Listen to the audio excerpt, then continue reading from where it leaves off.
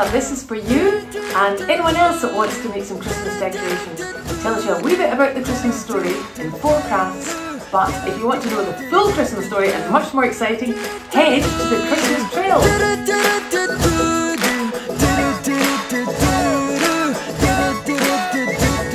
Hi there! Well, have you ever had a very exciting letter? I got a really exciting letter this week from a young friend of mine called Alexa. Now, she asked me if I would do a video on making Christmas decorations. So I thought, hmm, what am I going to do? Then I thought, let's do four crafts telling the Christmas story because it's getting so near Christmas now and that is so exciting.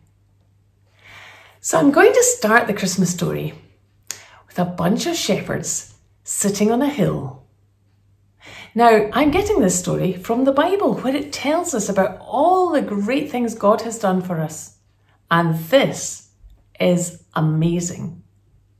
So these guys were sitting out in the hill. So we are first of all going to make a shepherd and then we will find out what happened next. Okay, so let's go. So for our shepherd, I thought we would use inside of a toilet roll. Now we'll all have one of them. And I'm going to cover it with some uh, green paper. This is sort of felty paper. And we'll stick it round like that to start off with. Okay?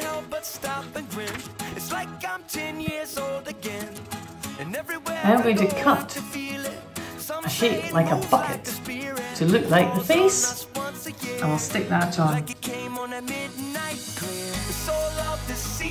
that.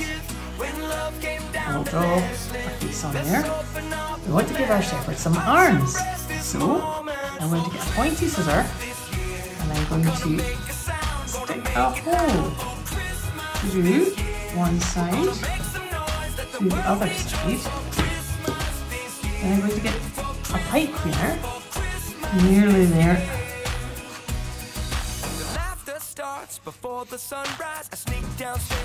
And now he's the arms. What else does our shepherd need?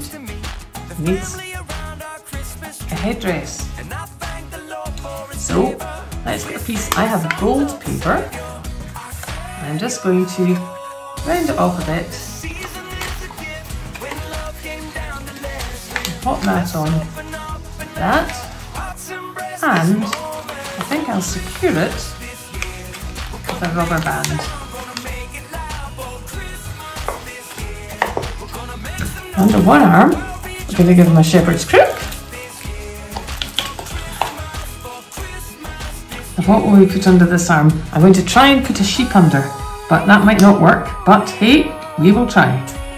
If you go to the Avendale and Church website and click on Messy Church, and if you go to the 24th of May, you will find out there the day I made a sheep. So I'm going to do the same thing again, but make a teensy weensy sheep for underneath the shepherd's arm. Okay, here we go. I've drawn a sheep there, don't know if you can see, and I've folded this over so it's double, and I'm not going to cut the bit at the top. And fold the face over to make these bits of leg fold that over like that. Then I made a teensy weensy sheep's face, glue on both sides of it, and that's our teeny weeny sheep. And I think somewhere I put googly eyes ah!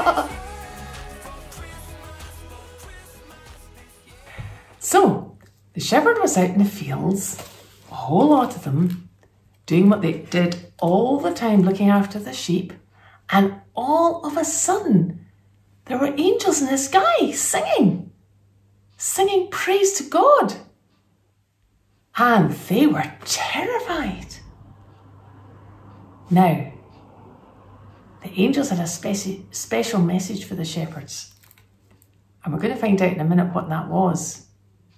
But the next craft is going to be making an angel.